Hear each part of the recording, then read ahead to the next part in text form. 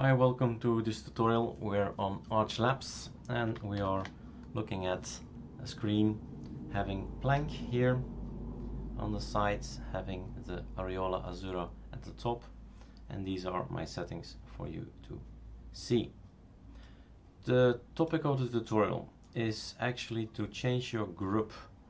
So when you boot you have this choice uh, to test your RAM, to boot your your distro. And this black image you can put also an image behind it.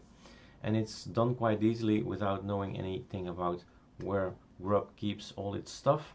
It's done easily with a program. And the program that I'm going to look for is um, on my github. You will find uh, github.com slash Erik Dubois Arch Labs. We have this installation folder and it's in here I keep it around because it's quite interesting and we type in dot slash and then we install something we press tab and it's called grub customizer.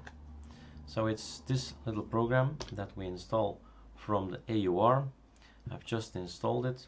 So the only thing we can do now is go ahead and see what it does what it um, is written like so it's this little name, this is the name you actually should look with Yaourt, with Packer, with Pacaur. So this little program is going to take one of the three, whichever one is available, and is going to start first with Packer.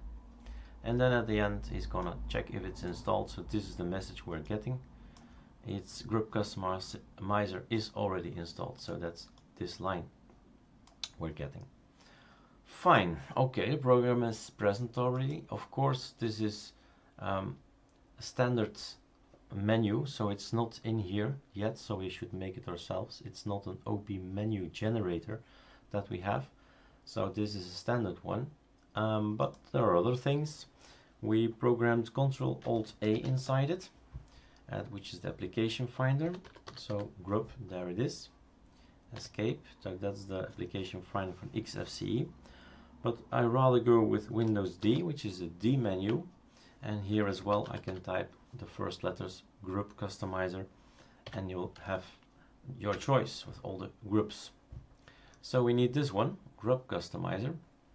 In my shortcuts as well the Windows Shift D which is a more uh, orange kind of look but it gives us the same thing grub customizer. Okay let's go if you did not uh, change your settings in the auto start, you will not be able to log on here. So you have to do that first. So you have to be root to do this, of course. We're going to write to some, some quite the important files, some uh, root files, and we must have some clearance. It's up here that we have to change it. So this is the list, general settings. The fun start here Custom resolution, I've set it to auto, but you can set, set it to anything you like. But auto is maybe best thing to do. I've got rid of auto now. Let's type it again like so. And then have some fonts and colors you can change around. You don't have that much choice, but there is enough choice to have some coloring. So blue, transparent, light red, transparent. I advise you not to use the font. And then we have to get our wallpaper, some kind of wallpaper, and this one is from the uh, Google Plus. And we have now a vision what it would might look like. It's not exactly like this, but it has lines uh, behind it and as well, etc. But this is what it will look like more or less. So if, if you don't like the color, it's now time to change it. But that's it actually. So change the colors. Uh, eventually transparent color or a real color behind it and red and don't touch the fonts. Take a picture. It's this is one is a very large picture. Maybe interesting to see how large things can go without having any problems. So properties.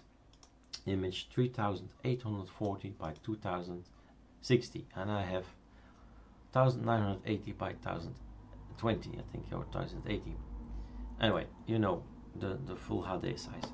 So even with these big amount of pixels, this large image, I have no problems booting. That's good. Fine, so you get yourself a nice wallpaper and then the coloring and all you have to do is save. And then when you reboot you will see that the image will be applied and the logo is in here and then the lines horizontal, vertical, box line goes around it and you'll have a particular personal kind of way to boot up your Arch Labs. Enjoy!